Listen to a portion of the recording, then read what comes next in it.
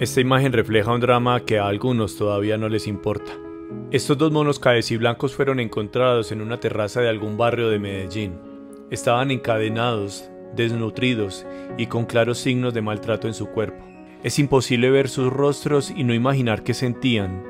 Uno con su mirada hacia arriba, quizás la luz del sol le recuerde la libertad de los árboles, mientras que otro con su mirada baja seguramente preguntándose qué hace en ese lugar gris.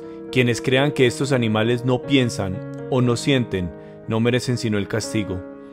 Fueron rescatados y los médicos veterinarios explicaron que el macho ha perdido respuestas naturales de su especie, su vocalización y el desplazamiento, y que producto del miedo busca constantemente refugio en la hembra. Las noticias del tráfico y cautiverio de fauna son continuas en Medellín y en Antioquia. Solo este año el área metropolitana ha recibido 22 monos de esta especie.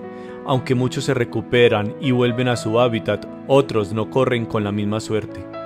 Los traficantes de fauna siguen explotando a nuestros animales, sacándolos de sus hogares, pero quienes los compran son igual de responsables. Denuncien, porque comprar es perpetuar este delito. ¿Qué más se necesita para combatir con todo el peso este flagelo? Esta es la imagen del cautiverio.